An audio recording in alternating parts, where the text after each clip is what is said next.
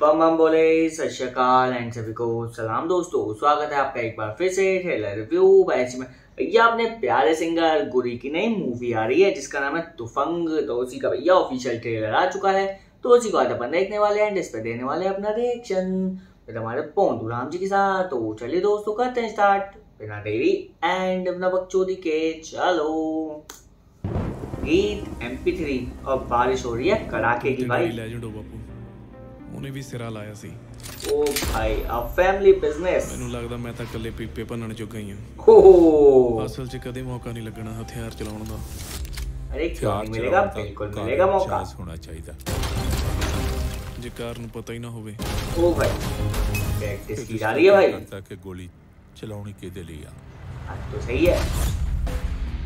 ਗੀਤ MP3 present ਸ਼ਾਨਾ ਤਾਂ ਸਹੀ ਸਿੰਦੀ ਹੈ ਤੂੰ ਪਰ ਲੱਗਦਾ ਨਹੀਂ। ਇਹਨੂੰ ਇਹਦਾ ਸਹੀ ਲੱਗਦਾ।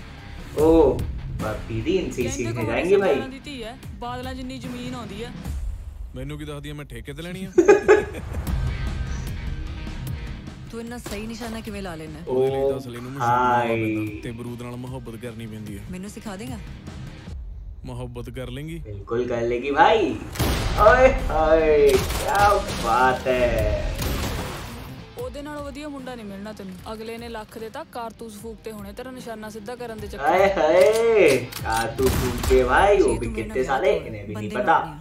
ਦੋ। ਤੈਨੂੰ ਡਰੈਡ ਫੋਨ ਲੈ ਦੂੰ ਘੈਂਟ ਜਾ। ਪਬਜੀ ਖੇਡੀ ਜਿੰਨੇ ਮਰਜ਼ੀ ਬੰਦੇ ਮਾਰੀ। ਸੀਰੀਅਸ ਮੈਂ। ਤੋਂ ਇਟਸ ਨੀਸ਼ ਮੇਰੇ ਲਈ ਬਹੁਤ ਵੱਡੀ ਗੱਲ ਆ। ਮੇਰੀ ਲੜਾਈ ਬੰਦਾ ਮਾਰਨ ਤੇ ਹੀ ਹੱਲ ਹੋ। ਪਰ ਬੰਦੇ ਮਾਰਨੇ ਕਿਉਂ ਆ? ਇਹਦਾ ਜਵਾਬ ਤੈਨੂੰ ਪਹਿਲਾਂ ਬੰਦਾ ਮਾਰਨ ਤੋਂ ਬਾਅਦ ਦਊਂ। ਅਭੀ ਦੇ ਦੋ ਭਾਈ ਜਵਾਬ। ਓ ਭਾਈ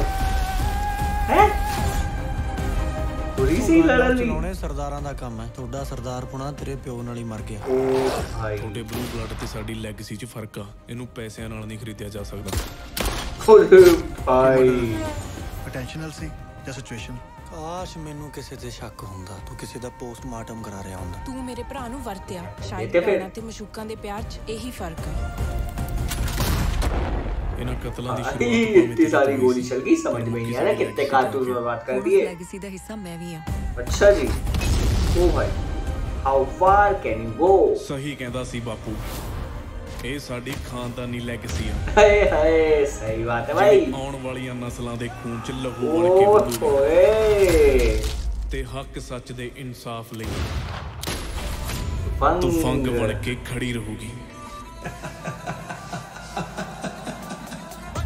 Directed by धीरज ओह भाई के सुनाई को आ रही है वो भी सिनेमा घरों में।